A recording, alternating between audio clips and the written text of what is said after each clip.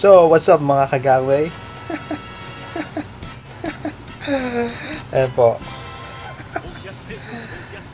Long hair na po ako. Ayan. So, sa tagal po ng quarantine, uh, naging long hair na po ako. No, God! So, yun po, no, bali, No, God, please, no! No! uh, No! yung vlog natin for today is uh, yung na-promise ko na ano, gym workout. Yun po yung uh, back exercise and shoulder exercise. So yun, uh, bali pakita ko sa inyo yung clips uh, na nag-workout ako ng back and shoulder exercise. So yun lang naman po. Yan, so long hair po tayo ngayon.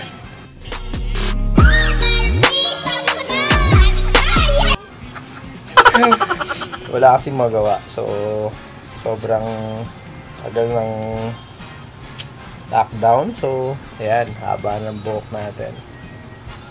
Bagay ba? ayan. So, yun. Bali, sana magustuhan nyo mga kagangwe. And then, uh, yun lang. Uh, so, wala nang intro-intro. Hindi, pero may intro talaga. yun, bali, Uh, yun lang. Yan. So, still po, ingat pa rin. Uh, encode pa rin. Nandyan pa rin siya. So, yun lang po mga kagangway. Sana ma-enjoy nyo. Back to you! Nandito na po tayo sa gym. Yan po. Uh, dito po is uh, 35 pesos lang pero magtataas na yata sila. Ayan, nagtaas na sila ng 19. Uh, 40 pesos per session. So, yun. So, bahala ka na kung, kung ka matapos. Pero hanggang uh, 10 p.m. lang sila dito open. So, morning open sila ng 9. Yeah, I think 9 in, oh yeah, 9 in the morning. Dito yan sa, ano, Cruz Naligas kay Kuya Bob Fitness Gym ayun so dito ako lagi nagwo-workout kasi uh, okay dito uh, bakal gym then yung gamit okay naman siya. Uh, and then uh, gusto kasi yung walang aircon na ano na gym. Para mas mabilis kang pagpawisan. Kesa dun sa aircon na gym tapos mo na yung workout mo hindi ka pa rin pinagpapawisan. Kaya ang ginagawa ko pag aircon gym tatakbo muna ako ng uh, mga 30 minutes para pagpawisan tapos uh, yun tsaka ako mag ano tsaka ako gagawin yung workout ko. Hindi kagaya sa mga ganitong gym. Uh, kahit mag uh, stretching ka lang muna and then yun pagpapawisan ka na kagad and then diretso ka na sa ano sa workout mo. So yeah. So start tayo.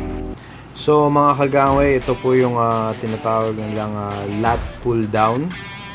So hindi ko na po naipakita yung ano uh, pull ups tsaka chin ups kasi walang malagyan ng camera So, ito po yung lat pull down.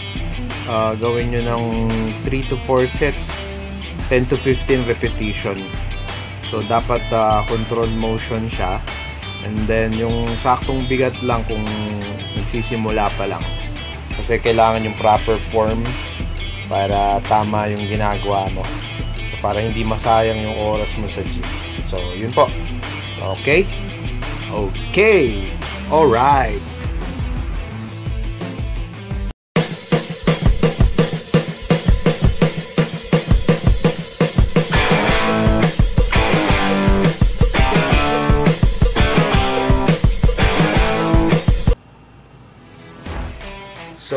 Kagangway, itong next exercise is uh, close grip pull down. So same lang po siya. So close grip lang po tayo ngayon. Kung kanina kasi is wide po yun. So same thing po. 4 sets. Uh, 10 to 15 repetition po siya. So still po uh, control motion po dapat. And then uh, kailangan na uh, i-feel nyo yung ano, yung muscle nyo na nagko-contract sa likod kasi back exercise siya. Sabi nila pampakpal daw to ng likod. And uh, inulit ko sa lahat ng beginners, hindi po kailangan mabigat kaagad. Okay? Alright.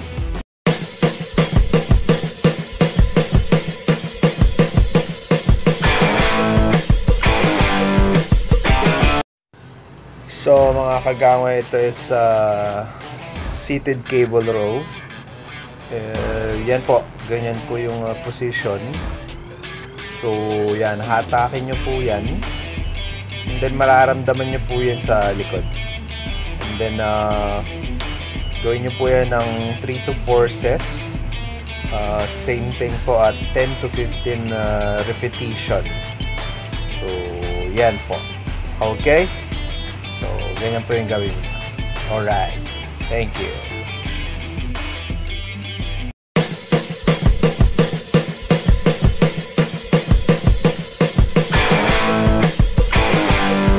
So, ito po yung next is uh, straight arm uh, pull down. So, yan. Uh, same thing po at 3 to 4 sets and then uh, 10 to 15 repetition po. So, ayan po. So, ma-feel nyo rin po na nababatak po yung uh, Latissimo Terzi. Ah, wow, English. so, ayan po. Uh, maraming salamat. Okay, alright.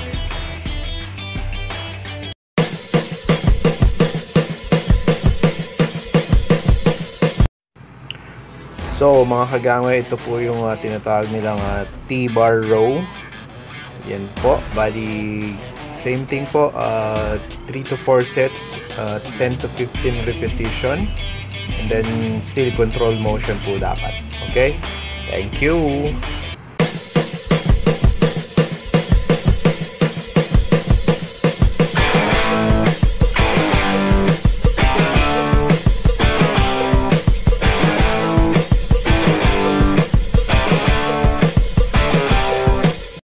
So, ayun po uh, mga kagangway, yan po yung uh, single dumbbell row.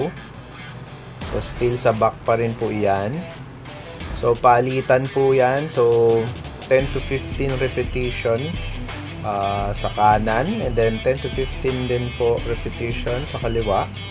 So, pwede nyo gawing 3 to 4 sets again. So, dapat uh, control motion. So, kailangan po uh, yung kaya lang po na bigat. So para makuha nyo po yung uh, proper form. Pero merong lumalabas ngayon na uh, exercise sa uh, YouTube na single dumbbell row na mali daw po iyan. Uh, siguro papakita ko yun sa next uh, exercise. Pero still, marami pa rin gumagawa niyan. Nararamdaman ko naman yung tama niya sa likod. So, ewan ko. Okay naman siguro. So, yun po. Uh, maraming salamat po. Okay? Alright. Ngayon mga kagangway, ito naman po yung uh, shoulder dumbbell press. Ayan po. So, same thing. Uh, 10 to 15 repetition. 3 to 4 sets po. So, yan po. Tingnan nyo yung proper form. So, hindi nyo po siya isasagad na ibababa at hindi nyo rin po isasagad na magkadikit yung uh, barbell. So, para may tension pa rin po. So, kailangan po uh, control motion. Okay?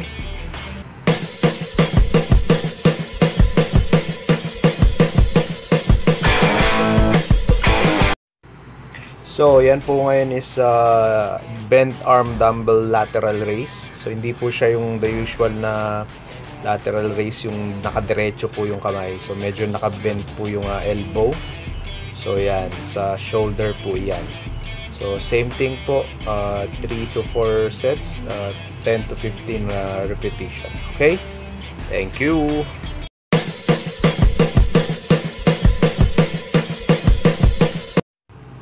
So, ayun po mga kagangway. Ito naman po yung ah, alternate dumbbell ah, front raise. So, magkabilaan po yan. ah, 10 to 15 na repetition.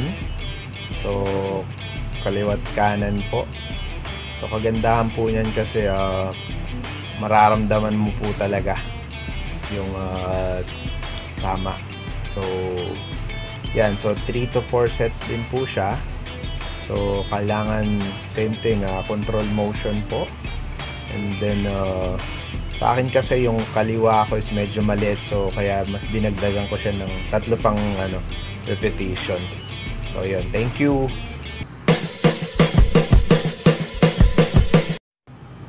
So, next exercise po is a dumbbell rear delt fly. So, yan po. Uh, 3 to 4 sets. Uh, 10 to 15 uh, repetition. So, yung rear deltoids po yung tinatamaan yung sa likod na shoulder. Okay?